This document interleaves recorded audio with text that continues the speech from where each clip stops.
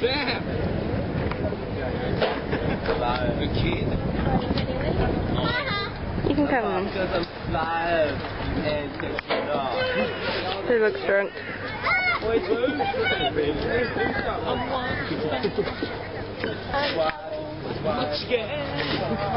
I'm on the playground in high heels. It's so weird. Rollers. You know I'm recording this.